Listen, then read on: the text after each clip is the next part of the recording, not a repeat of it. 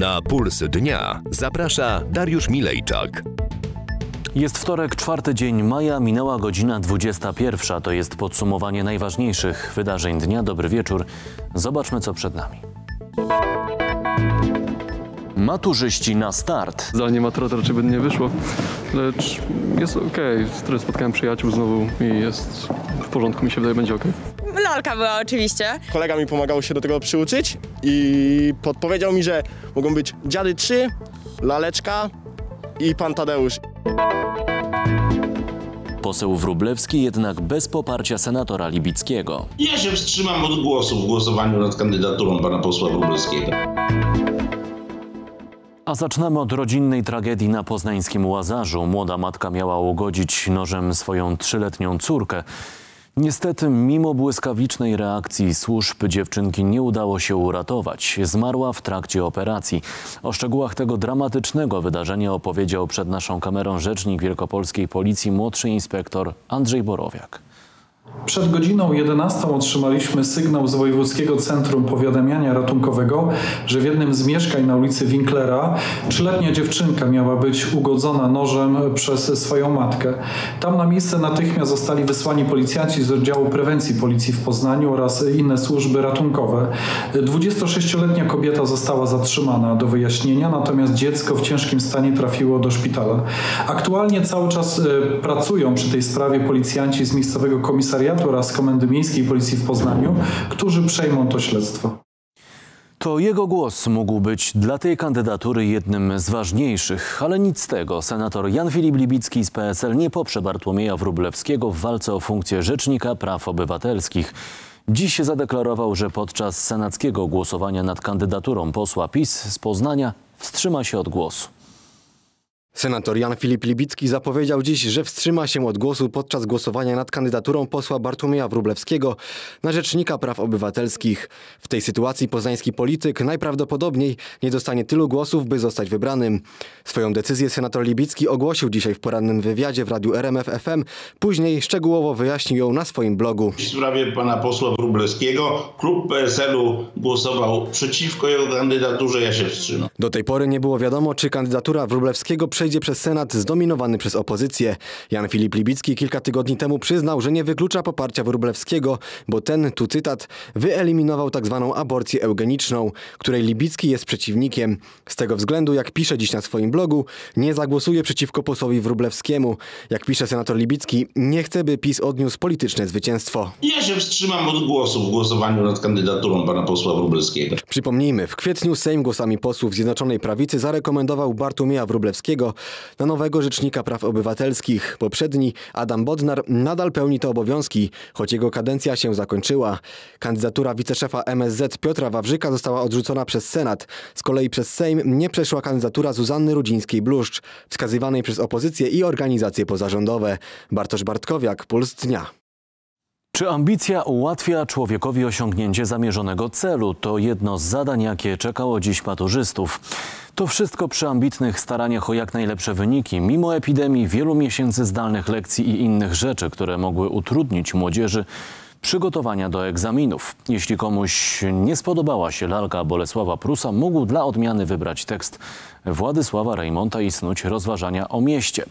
A już jutro ponad 25 tysięcy maturzystów z Wielkopolski czeka kolejne wyzwanie, tym razem z matematyki. Po miesiącach zdalnej nauki na egzaminy wrócili do szkół. Ponad 6 tysięcy poznańskich maturzystów przystąpiło dziś do pierwszego z egzaminów z języka polskiego. Tak widocznie musiało być, tak? No, musieliśmy przejść na tę maturę, tutaj zdalnie matura to raczej by nie wyszło. Dawidowi z liceum w Krzesinach przypadło miejsce w pierwszej ławce. Jeszcze przed rozdaniem arkuszy przyznał, że czuje się dobrze przygotowany i jedyne co może mu przeszkodzić to stres. Ale podkreślał, że otuchy dodają mu siedzący tuż obok koledzy i koleżanki z klasy. Jest okej, okay. spotkałem przyjaciół znowu i jest w porządku, mi się wydaje, będzie. Okay. To już kolejne matury w cieniu pandemii. Abiturienci do obowiązkowych zadań musieli dodać jeszcze dezynfekcję rąk i maseczki. Ławki też musiały być ustawione daleko od siebie. Zdaniem dyrektora Andrzeja Karasia, mimo nauki zdalnej w czasie epidemii, uczniowie z jego szkoły są dobrze przygotowani. Ci, którzy na początku lekceważyli, wzięli się ostro do roboty. Nauczyciele im w tym okresie nie, ostatnim nie odpuszczali. Pierwszy z trzech obowiązkowych egzaminów trwał dokładnie 170 minut. Jutro matematyka, a w czwartek język angielski. W 20. liceum ogólnokształcącym na osiedlu Wichrowe Wzgórze do egzaminu przystąpiło dokładnie 99 uczniów. Ale matury z języka polskiego w samym Poznaniu zdawało dziś ponad 6 tysięcy osób, a w Wielkopolsce ponad 25 tysięcy. Czy ambicja ułatwia człowiekowi osiągnięcie zamierzonego celu? Rozważania na ten temat na podstawie fragmentu lalki Bolesława Prusa to jedno z głównych zadań, z którymi mierzyli się dziś maturzyści. Do wyboru mieli jeszcze rozważania na temat miasta jako przestrzeni przyjaznej lub wrogiej człowiekowi.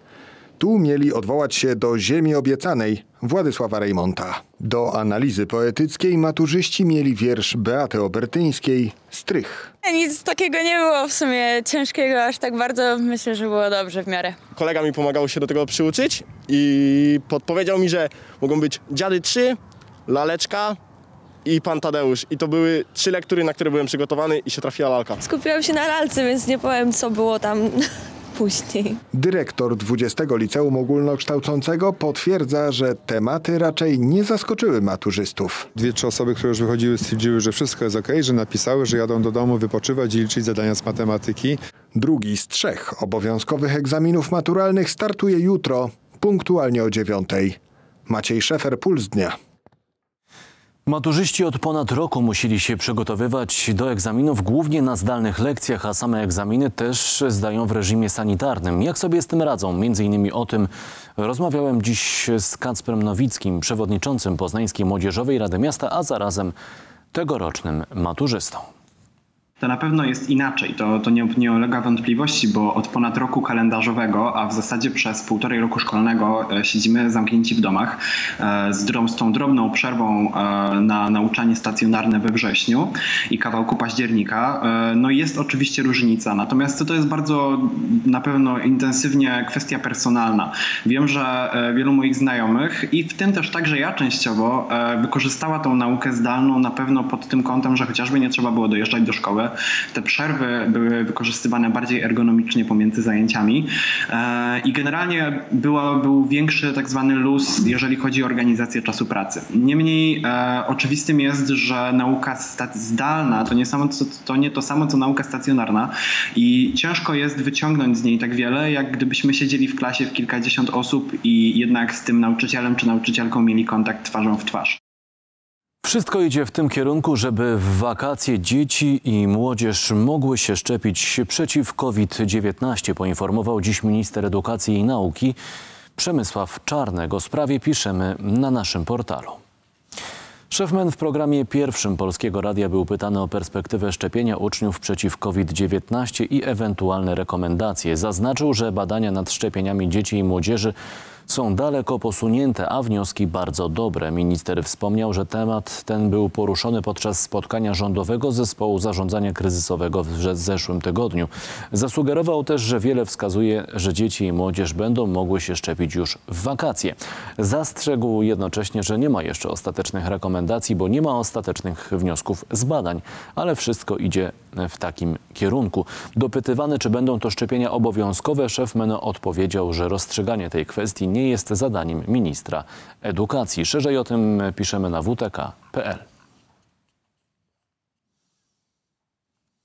Zaszczepione tysiące osób i tysiące zablokowanych terminów w regularnie funkcjonujących punktach. Tak w skrócie można podsumować akcję Zaszczep się na majówkę. Informacje zbiera dla Państwa nasza reporterka Ewelina Dernoga. Ewelino, dobry wieczór. Powiedz proszę, czy można jakoś odwołać termin szczepienia, jeśli ktoś przyjął swoją dawkę w weekend majowy? Dobry wieczór Państwu, dobry wieczór Darku. Te, ten termin szczepienia można odwołać, ale no nie jest to takie proste, bo nie możemy tego zrobić ani przez internetowe konto pacjenta, ani też przez infolinię. Tak naprawdę jedyną opcją, żeby ten swój termin szczepienia w punkcie, jeżeli mieliśmy go już wyznaczony, a przyjęliśmy swoją dawkę szczepionki w weekend majowy, jedyną możliwością jest to, aby udać się mm, do punktu szczepień i dopiero w tym punkcie mm, taki termin szczepienia mm, można odwołać. E, to znacznie komplikuje sytuację, no bo faktycznie w ten weekend majowy zaszczepiło się tysiące Polaków, w tym e, też tysiące, dokładnie 3,5 tysiąca e, poznaniaków, o czym poinformował dzisiaj Urząd Wojewódzki Województwa Wielkopolskiego. No i właśnie jeżeli chodzi o te osoby, które się zaszczepiły, a które miały wyznaczony ten termin szczepienia, ta sytuacja znacznie się komplikuje i te terminy szczepień, które oni mieli wyznaczone, a mogłyby w tych terminach zaszczepić się inne osoby, póki co są e, po prostu zablokowane. Jak zapewnia Ministerstwo Zdrowia, na razie trwają prace, aby Centrum E-Zdrowia właśnie te terminy usuwało, ale póki co zapowiada się, że nawet jeżeli ten problem uda się rozwiązać, to samo Centrum E-Zdrowia też te terminy będzie usuwało ręcznie. No a to będzie na pewno żmudny i trwający zdecydowanie dłużej proces niż gdybyśmy mogli faktycznie e, zrobić to samodzielnie, na przykład za pomocą internetowego konta pacjenta.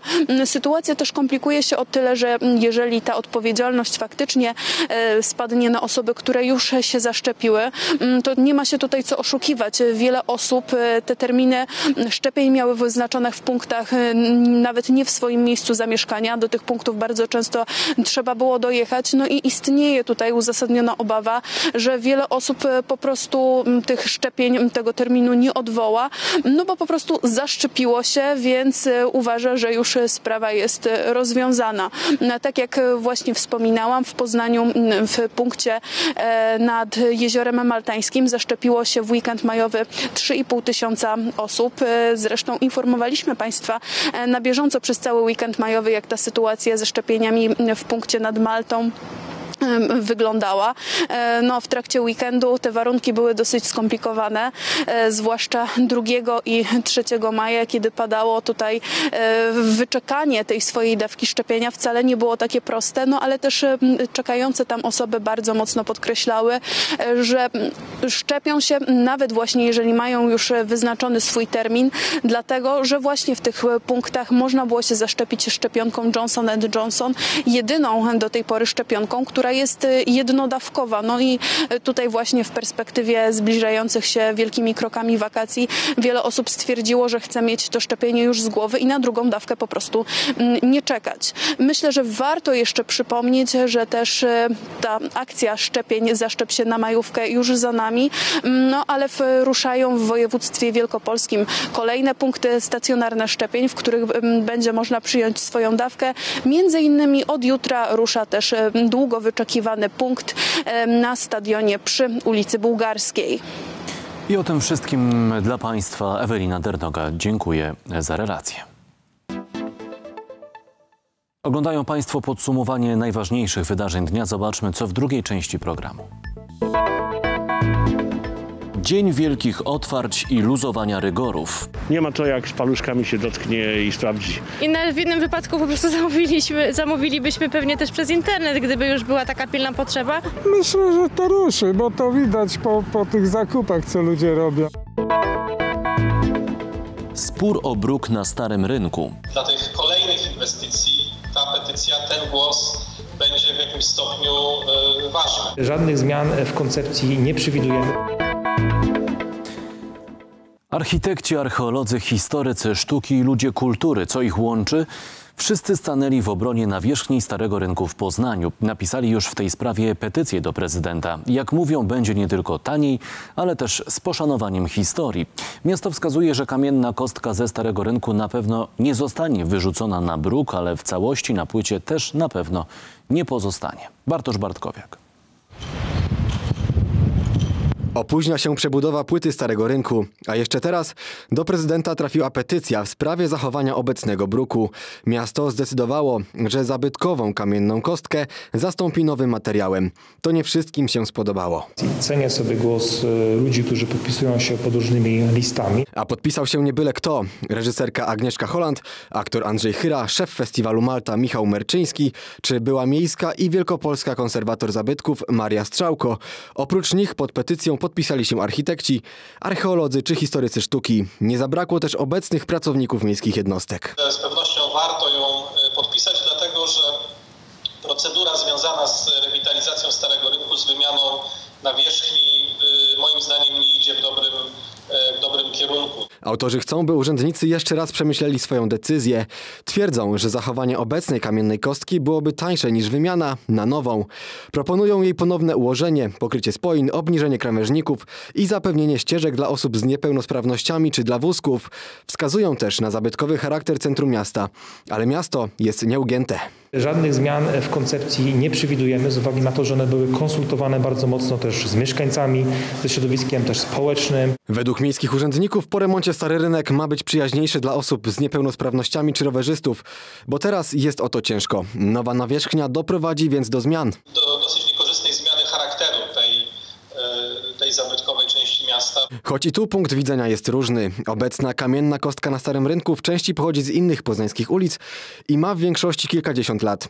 Miejska konserwator zabytków wykluczyła możliwość jej szlifowania, a miejscy urzędnicy przeprowadzili do tej pory różne próby materiałowe, by sprawdzić jakie ułożenie i jaki materiały będą najlepsze. Należałoby oddać głos tym ludziom, którzy zajmowali się przygotowaniem bardzo precyzyjnym e, tego projektu, który miasto zamierza obecnie realizować. Ja sam byłem zwolennikiem szlifowania starej kostki. Bruk w najlepszym stanie zostanie w centrum miasta. Konkretnie w ścisłym centrum Starego Rynku przy Galerii Arsenał czy Wadze Miejskiej. Nowa nawierzchnia zostanie ułożona w pozostałej części rynku. Takie rozwiązanie ma sprzyjać wszystkim. w kontekście jakby dostępu do starego rynku. Nie trzeba być osobą z niepełnosprawnościami, żeby mieć już w tym momencie problem z, z swobodnym poruszaniem się. To nie trzeba też na rowerze wjechać. Obecna kamienna kostka, która nie zostanie wykorzystana podczas remontu płyty Starego Rynku, nie pójdzie też na bruk. Ma zostać zachowana i wykorzystana podczas remontów innych uliczek na Starym Mieście. Przebudowa płyty Starego Rynku miała rozpocząć się pod koniec 2019 roku i zakończyć w tym roku. Ze względu na brak ofert w przetargu prace się opóźniają, a te będą miały miejsce nie tylko na powierzchni, ale i pod ziemią, bo wymieniana będzie sieć wodno-kanalizacyjna. To jest poważne przedsięwzięcie i y, rozumiem również obawy inwestorów czy wykonawców, że y, to jest teren, y, gdzie mogą się wydarzyć różne rzeczy. Obecnie koniec robót na Starym Rynku Urząd Miasta planuje na 2023 rok. Planowany koszt to 125 milionów złotych. Bartosz Bartkowiak, Puls Dnia. Luzowanie obostrzeń stało się faktem. Sporo osób odwiedzało ponownie otwarte sklepy meblowe i budowlane, a niemal oblężone są zakłady fryzjerskie i kosmetyczne. Niektórzy jednak wciąż czekają na otwarcie. Maciej Szefer. Nie przez internet, a tradycyjnie w sklepie. Od rana wiele osób zdecydowało się wybrać na zakupy do otwartych już sklepów i marketów. Pani Ewa była jedną z nich. W jednym wypadku po prostu zamówiliśmy, zamówilibyśmy pewnie też przez internet, gdyby już była taka pilna potrzeba. Spory ruch panował od rana choćby w sąsiedztwie największego sklepu meblowego na Franowie. To bardziej dla żony przyjechaliśmy niż dla, dla, dla mnie, ale, ale to wiadomo, no zawsze, zawsze coś, coś, że przyjedzie coś kupić, coś zobaczyć, coś obejrzy. Od dziś czynne są największe markety budowlane, meblowe i wszystkie sklepy w galeriach handlowych. Obiekty o powierzchni ponad 2000 m2 były zamknięte od 27 marca. Teraz działają w ścisłym reżimie sanitarnym, co oznacza, że może w nich przebywać jedna osoba na 15 m2. Zawsze lepiej namacalnie niż tak przez internet. Tak mi się wydaje. Z podobnego założenia wyszli klienci sklepu budowlanego na Winogradach, których już od rana nie brakowało. Myślę, że to ruszy, bo to widać po, po tych zakupach, co ludzie robią, że to jednak pójdzie chyba do przodu. Nie ma to jak z paluszkami się dotknie i sprawdzi. No wreszcie otworzyli dla ludzi, nie? A tylko dla pracowników było, nie? Co firmy mają. Oblężenie przeżywają też salony fryzjerskie i kosmetyczne, które mogą już przyjmować swoich klientów. W trzech zakładach, które odwiedziliśmy przed południem na osiedlu Wichrowe Wzgórze, telefony od klientów wręcz się urywały. Salony wznowiły pracę w ścisłym reżimie sanitarnym. Obowiązuje limit klientów i nakaz noszenia maseczek. Cały czas dystans, dezynfekcja, maseczki to są zasady, które obowiązują. Działalność wznowiły też galerie sztuki, muzea i biblioteki. W holu Centrum Kultury Zamek instalowano dziś nową wystawę fotografii poświęconą pracowni mebli Kowalskich z Jeżyc, którą będzie można oglądać już od jutra. Mamy niepowtarzalną okazję do tego, żeby właśnie w Centrum Kultury Zamek zobaczyć zdjęcia z wnętrz tej pracowni. W kościołach wciąż obowiązują nabożeństwa z ograniczoną liczbą wiernych. To jedna osoba na 15 metrów kwadratowych. Resort Zdrowia rekomenduje odprawianie nabożeństw na świeżym powietrzu. Od soboty 8 maja otwarte dla gości mają zostać hotele, ale będą mogły przyjąć tylko połowę gości. W kolejnych tygodniach odmrażana ma być m.in. gastronomia. Maciej Szefer, Puls Dnia. Niespełna 2,5 tysiąca nowych przypadków zakażenia koronawirusem w kraju. Zobaczmy najnowszy raport o stanie epidemii w Polsce. Z danych przekazanych dziś przed południem przez Ministerstwo Zdrowia wynika, że z nowych 2296 przypadków dokładnie 204 wykryto w Wielkopolsce. Tym razem w ciągu doby zmarło 28 chorych na COVID, z tego 3 osoby z naszego województwa. Wszystkie trzy pochodziły zresztą z aglomeracji poznańskiej, samego Poznania lub okolic. Liczby z ostatnich dni wskazują, że epidemia wyraźnie wyhamowuje, ale liczba ofiar od jej początku w Polsce wynosi już ponad 68 tysięcy osób. Dzisiaj Sejm większością 290 głosów przyjął ustawę dotyczącą Funduszu Odbudowy. To specjalna pula pieniędzy, które mają pomóc Europie dźwignąć się po pandemii. Dziś w Sejmie gorąca dyskusja, my w otwartej antenie rozmawialiśmy, jak wykorzystać te oraz inne unijne środki, gdy już trafią między innymi do Poznania. Mamy już trzecią perspektywę, w której Polska uczestniczy, czy będzie uczestniczyła w całości i jest jednym z krajów, które najsumienniej wydają środki. To znaczy, z jednej strony wydają je praktycznie w całości, są one rozliczane niemal w 100%, a z drugiej strony wydają je uczciwie. To znaczy, procent środków, które są cofane, czy są do nich jakieś zastrzeżenia, jest bardzo niewielki w porównaniu z niektórymi krajami, nawet tak zwanej starej Unii. Więc, proszę Państwa, mamy doświadczenie we wdrażaniu tych środków. Mieszkańcy regionu Poznania widzą też ich działanie. Trudno nie mieć takich obaw, zwłaszcza jak się pamięta ostatnią kampanię wyborczą i premiera Morawieckiego, który prezentował czeki gigantycznej wielkości, mówię co do rozmiaru, które prezentował w otoczeniu wójtów i burmistrzów przyjaznych gmin. I mamy nadzieję, ja oczywiście mam taką nadzieję, że nie powtórzy się ten scenariusz i rzeczywiście te pieniądze będą rozdzielane nie po uważaniu, ale merytorycznie, zgodnie z możliwościami poszczególnych gmin i po ich potrzebami. I jeszcze na koniec serwis Meteo i prognoza pogody, którą przedstawi Zofia Papież. Dobry wieczór Państwu. Dziś towarzyszyła nam zmienna aura. Początkowo mogliśmy liczyć na przejaśnienia i chwile ze słońcem. Następnie odnotowaliśmy wzrost zachmurzenia i po południu pojawiły się opady deszczu o charakterze przelotnym. Dodatkowo dzisiaj też towarzyszył nam silniejszy wiatr, który potęgował odczucie chłodu, rozpędzał się nawet do 55 km na godzinę. Zatem sprawdźmy, czy najbliższe godziny przyniosą nam jakąś zmianę w pogodzie. Zacznijmy od nadchodzącej nocy, która w stolicy Wielkopolski zapowiada się bardzo pogodnie, niemalże bezchmurnie. I taki też będzie poranek. Nieco większe zachmurzenie odnotujemy w godzinach okołopołudniowych, także chwilę po południu. Wtedy także niewykluczone opady deszczu o charakterze przelotnym. Pogodnie po godzinie 18 i ta słoneczna aura utrzyma się aż do końca środy. Na termometrach w nocy i nad ranem 9 i 8 stopni Celsjusza. Przed południem 11, w południe 13 i taka wartość także w godzinach popołudniowych. To będzie maksimum tego dnia. Wieczorem spadek temperatury do 11 i 9 stopni Celsjusza. Wiatr powieje słabo i umiarkowanie, jednak momentami może powiać nieco silniej. Zobaczmy, jak upłyną kolejne dni. W Poznaniu czwartek zapowiada się bardzo pogodnie z zachmurzeniem umiarkowanym i bez opadów atmosferycznych. Natomiast w piątek czeka nas zachmurzenie całkowite i opady deszczu. Wtedy także przydadzą się Państwu parasole.